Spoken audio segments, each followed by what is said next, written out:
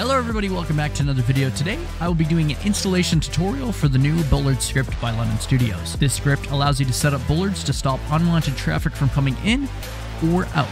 A detailed showcase video of this script was created by London Studios, and I will link the channel below just in case you have any further questions, comments, or concerns about what the script has to offer.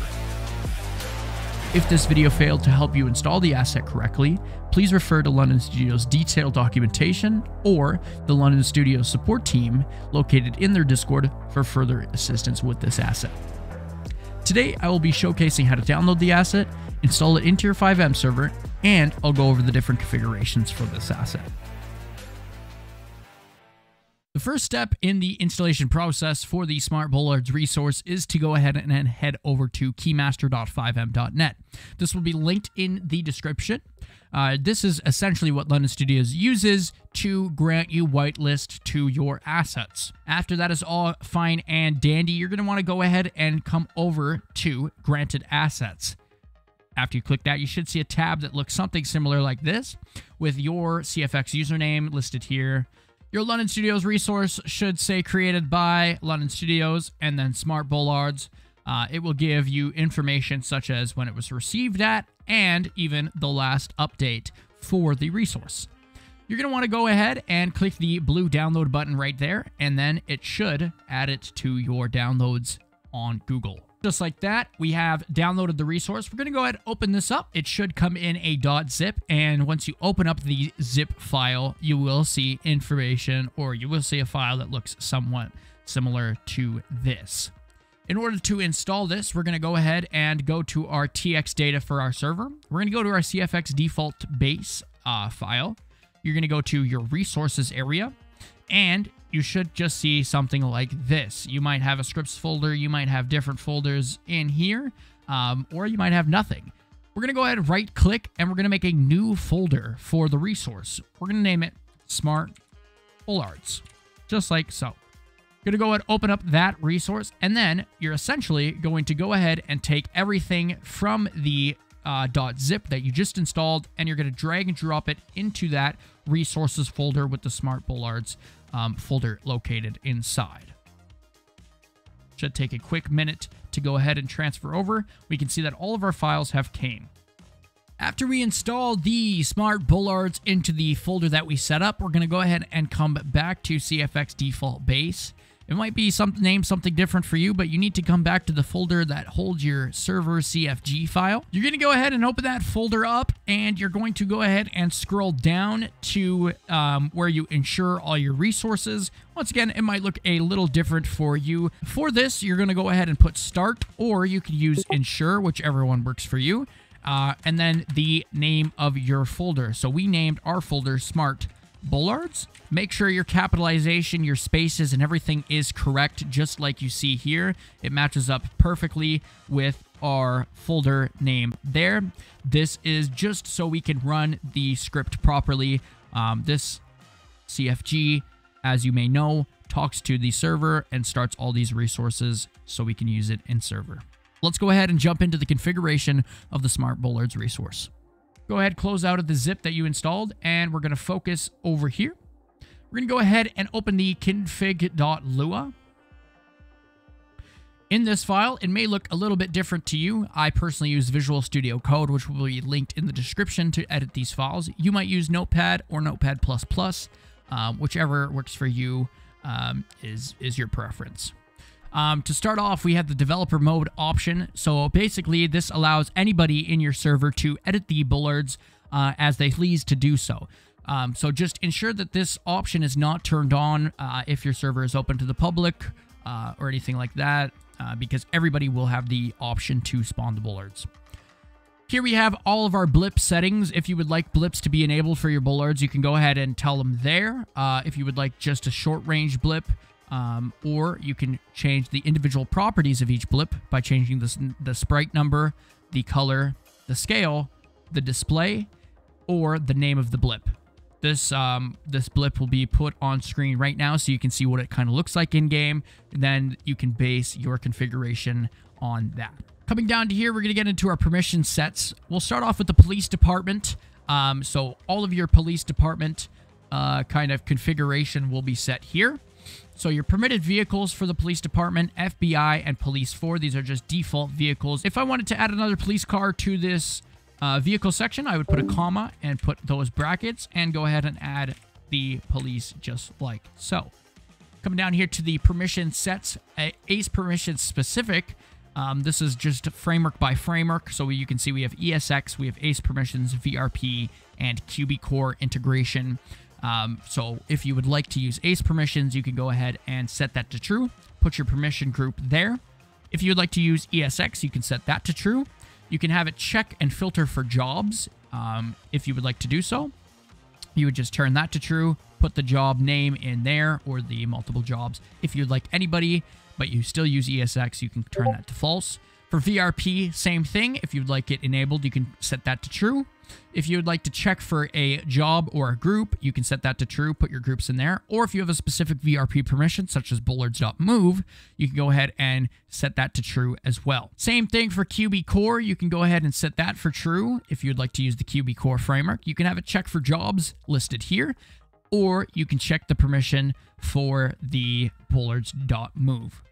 We have the same exact configuration for fire. We can go ahead and add more fire cars if we would like to. We can go ahead and add tanker 1, which is not a default patrol vehicle in the inside of the game, but that's just a spawn code that you could put in if you had, uh, you know, such vehicle. And then it is essentially the same set of permissions configuration. You have your ACE perm, your ESX, VRP, and QB core that you can go in and go ahead and fine tune for the fire department for the um, ambulance department as well. You can see down here, you can put an ambulance in for those ambulance first responders.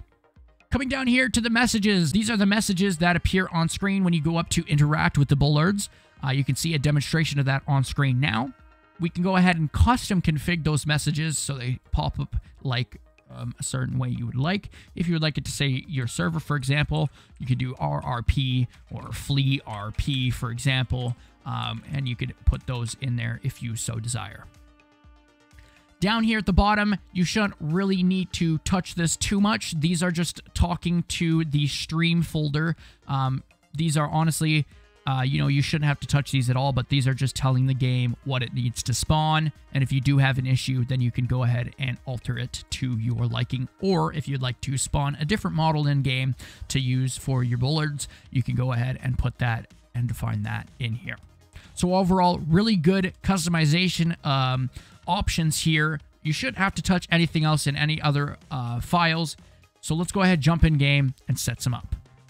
All right, so I've gone ahead and launched the game here, and you can see already on our map, on our mini map here, we have the Smart Bollard uh, Bollard sets for all of the different locations around the map.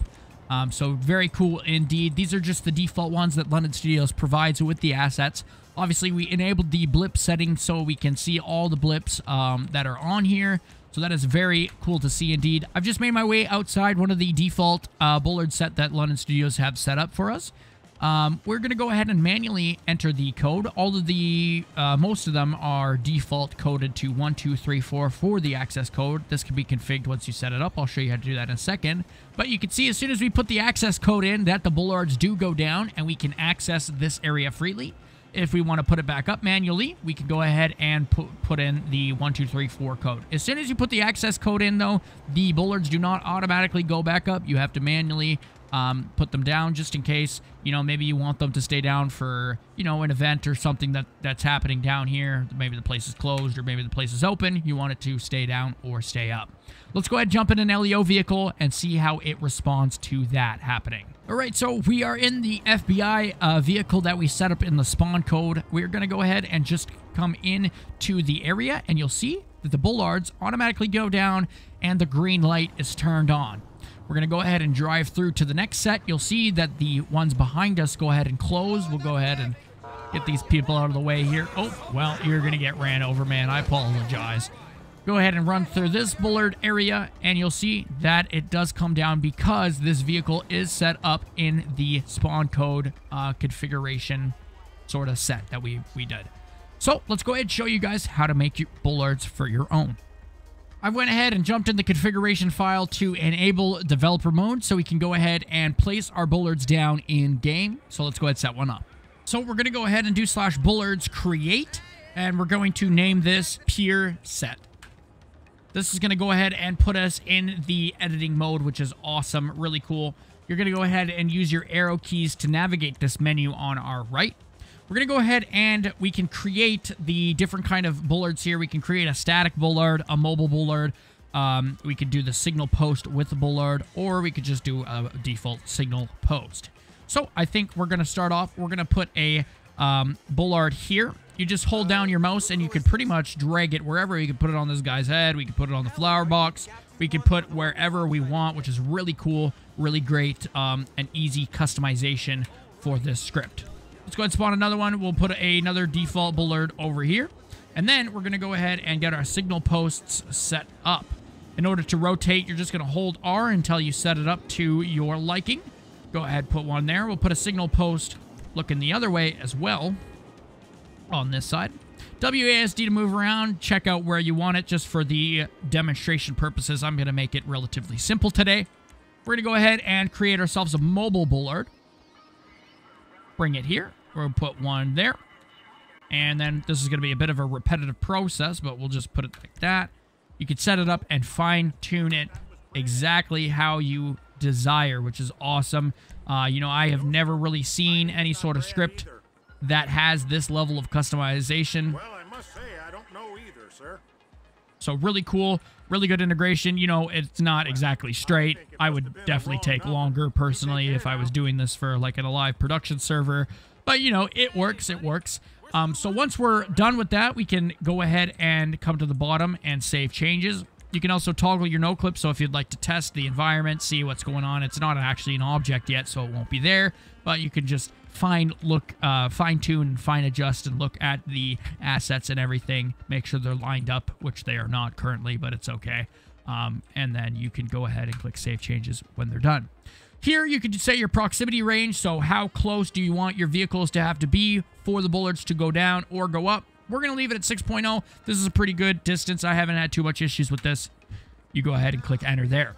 For your four-digit PIN code, this could be something that you can set that only your cops know or only your people in your company, for example, in RP know.